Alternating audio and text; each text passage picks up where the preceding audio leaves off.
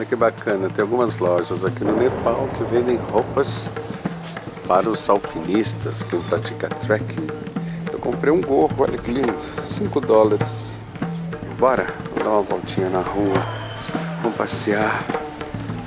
Charmoso esse lugar. Ele é muito simples, chega a ter um ar pobre, mas tem um charme. As pessoas muito simpáticas, já falei isso, mas repito, é muito gostoso.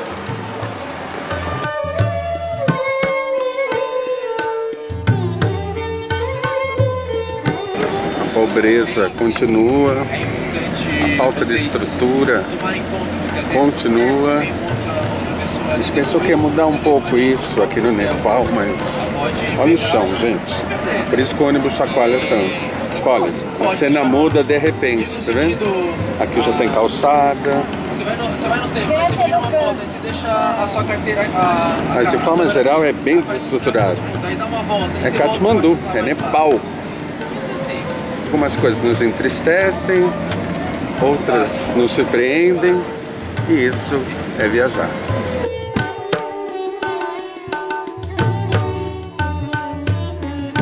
O Tibete tem suas diferenças, embora, é claro, lembre muito a Índia na sua pobreza, na sua falta de estrutura. As suas fronteiras são abertas com a Índia, enquanto com a China eles têm a cordilheira que separa eles da China. Ou seja, a cultura do Nepal é muito mais parecido com a Índia do que com a China. Esses panos coloridos dão uma alegria. Esses gritos são macacos, tá? Pera aí que a gente já tá chegando lá, vou mostrar pra vocês. Eles estão soltos pelas casas aqui. Soltos completamente. Vivem aqui na comunidade. Nós estamos chegando num templo. E esses panos coloridos dão uma alegria pro lugar. Incrível. A gente podia pegar essa ideia aí. Muito legal.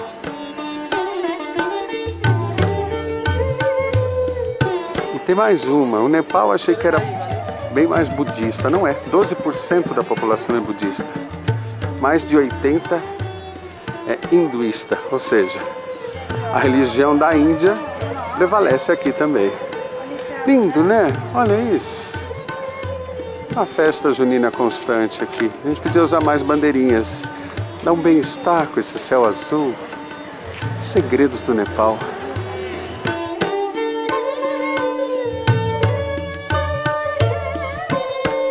Agora, o bacana da Índia é que o budismo e o hinduísmo convivem muito bem. Tanto que um frequenta o templo do outro. E alguns deuses migraram de uma seita e foram para outra. É uma convivência perfeita de religiões e de ideologias. Essas são as famosas estupas do Nepal. O significado religioso eu não entendo exatamente, mas devagar a gente vai descobrindo. Mas elas são a cara do Nepal.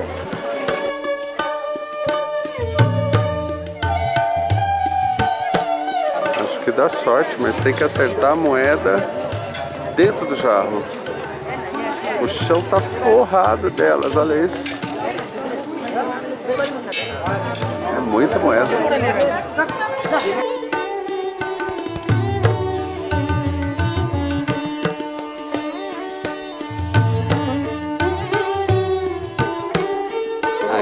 Imagem especial para você com a cara do Nepal.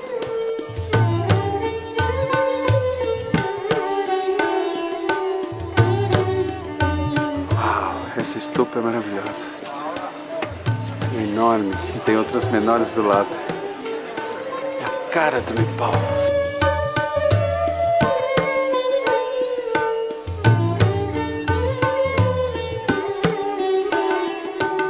Parece que o movimento é esse, é criar movimento nas rodas como um sinal de bem-aventurança, de fartura, de uma espiritualidade elevada, acredito eu. É muito bonito, é muito bonito. Tem um clima absolutamente religioso e as montanhas do Himalaia ficam lá no fundo. É incrível estar aqui, incrível emocionante. Eu vou lá passar minha mão também, é claro.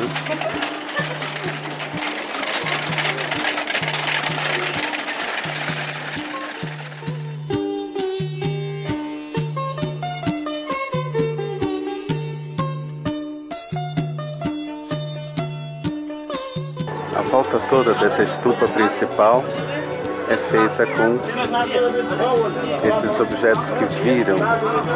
Isso vai criando uma energia. Junta a música, junta o semblante dos nepaleses.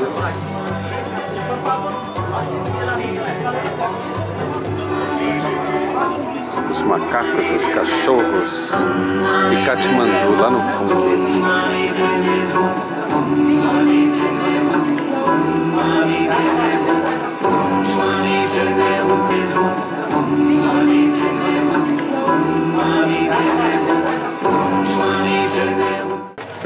Pequenininho ali, olha que belezinha que eles são. Às vezes eles têm medo da gente, às vezes a gente tem medo deles. E os cachorros ficam aqui, ó, junto com eles.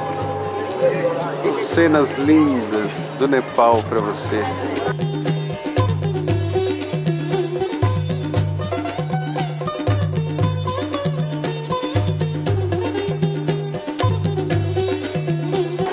Nós estamos entrando num dos templos que fica nesse santuário, se é que a gente pode chamar assim, em dois monastérios. Aqui sim uma imagem gigante de Buda. Olha aqui o tamanho das pessoas e o tamanho dessa imagem. E olha que bonito as pessoas daqui expressando sua fé, que é diferente pra gente que vem como turista, né?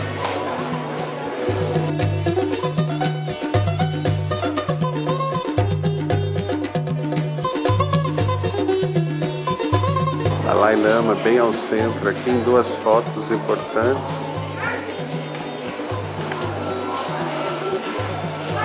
Os líderes espirituais desses países, da Índia, do Nepal, e que fazem tão bem pra gente. Eu tenho uma foto do Dalai Lama no meu altar pessoal. Acho que tudo vale. Os sábios têm sempre que nos ensinar e a gente sempre tem que aprender.